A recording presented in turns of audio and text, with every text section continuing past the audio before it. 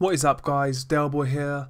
So this weekend, obviously, the big fight is between Gennady Golovkin and Danny Jacobs, but we also have a somewhat interesting fight at heavyweight between Erkan Teper and Mariusz Wach. So I made a video. I made a video trolling about Brook and Spence um, a minute ago, um, just kind of trolling about the whole VADA thing. Maybe this fight needs fucking VADA testing, man, because ultimately both Mariusz Wach and Erkan Teper both both have failed drug tests.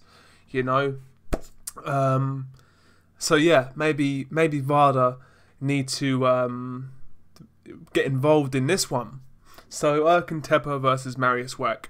For what it is, it's a decent heavyweight fight. I think it could be quite fun.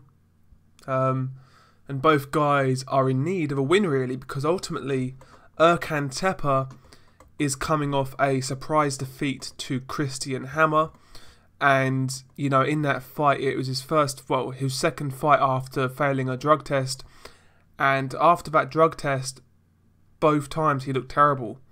You know, after he failed that test, both times against Derric Rossy and Christian Hammer, he looked pretty awful. You know, the power wasn't there, the intensity wasn't there, just looked very average and um, and Mariusz Wach failed a drug test back in the Vladimir Klitschko fight, um, which he lost obviously. Um, so if you look at this fight, Erkan Teper comes into this fight with a record of 16 wins, one defeat, zero draws, and 10 of those 16 wins coming by way of knockout. Mariusz Wach comes into this fight with a record of 32 wins, two defeats, zero draws, and 17 of those 32 wins coming by way of knockout.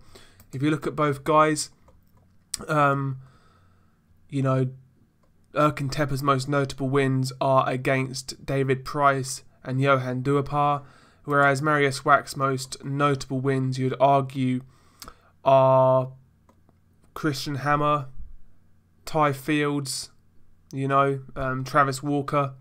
They're his best wins, in my opinion. So both guys have not exactly beat top 10 operators, but they're competent at a certain level. Um, and I'm really not sure how to call this fight because I felt I really felt Mariusz Wach looked awful last time out.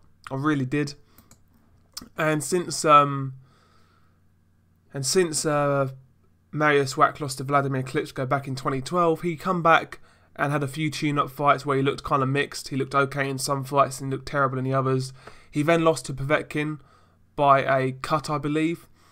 And in that Povetkin fight, he, he was losing clearly, but he, he didn't look terrible, you know. And um, he came back to win against, in his comeback fight after Povetkin, he came back to beat Marcelo Nascimento, who's a Brazilian journeyman, and he didn't look good in that fight, according to reports. I've not seen it. So I think both guys are at the end of their careers.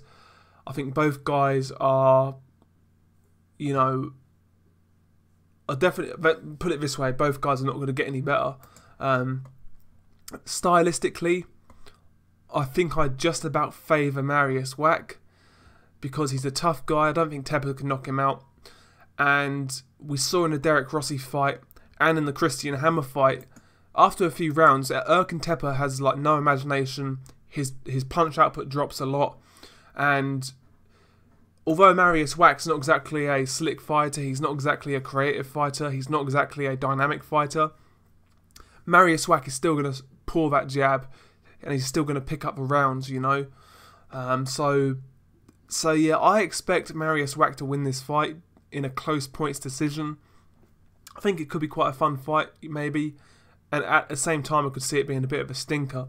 But no, nevertheless, it's quite an interesting heavyweight matchup between two fringe contenders, two guys coming off failed drug tests. So, although to be fair to Mariusz Wach, his drug test was like five, well, four years ago now, five years ago. So, it's definitely not as relevant as uh, Erkan Teper's because ultimately, Teper's looked a lot worse since he failed that drug test, and Mariusz Wach looked exactly the same, really.